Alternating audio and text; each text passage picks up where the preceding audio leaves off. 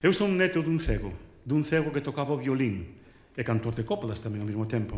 Un home que pois, se valeu do seu instrumento para ganarse a vida e nos enseñou a dignidade que ten o canto e a dignidade que ten a música. Eu no ano 67 escribín, unha, escribín a historia dun acontecemento eh, moi importante como que en Galicia que foi a primeiro, o primeiro levantamento que hai contra a oligarquía ou contra o poder, o poder establecido de un pobo inteiro como foi Castrelo do Miño.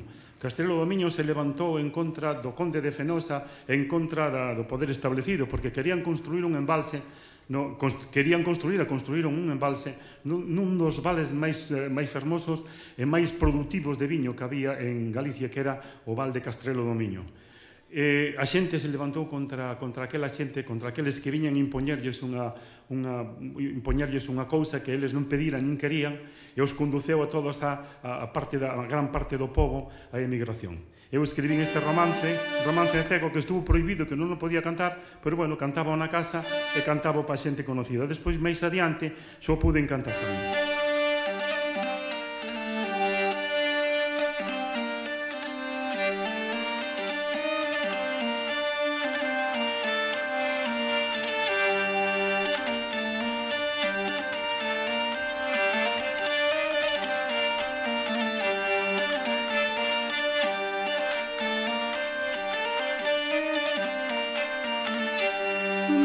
señores que historia nun pobo no Ourense que ten xuece secretario e tamén señor fodense que ten xefe secretario e tamén señor fodense cheo de V de amor Era un balcán fermosiño Era en Galicia unha frolera Castrelón o Miño Eran Galicia unha outra letra eh, Castrelón Miño.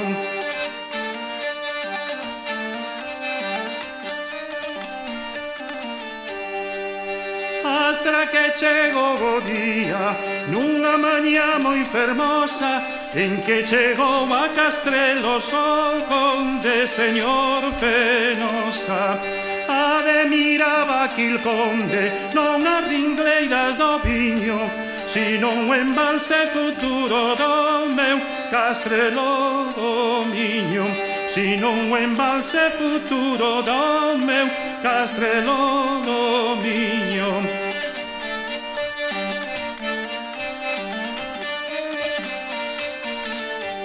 Cando en Castrelo se soupo as intencións daquil conde O povo en irmandade ante a infamia responde.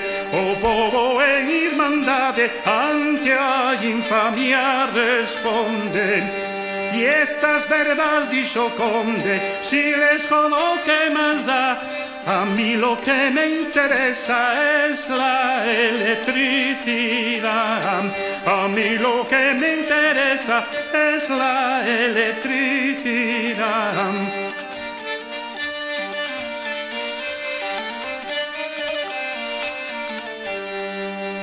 que el embalse se construya, dicho Paco entusiasmado, Andi mandou cabaleiros para impoñer o mandado Andi mandou cabaleiros para impoñer o mandado Pedradas mandou o povo que lles foron a perilla.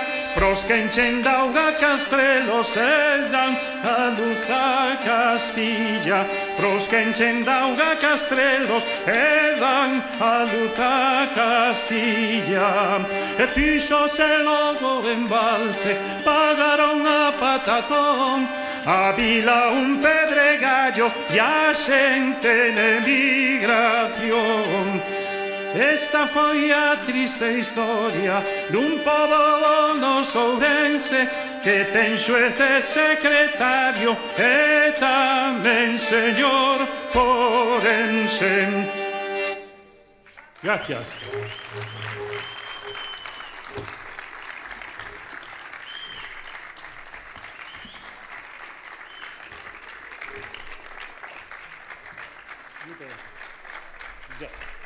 Siamo in tarde, ¿cómo estoy pagando?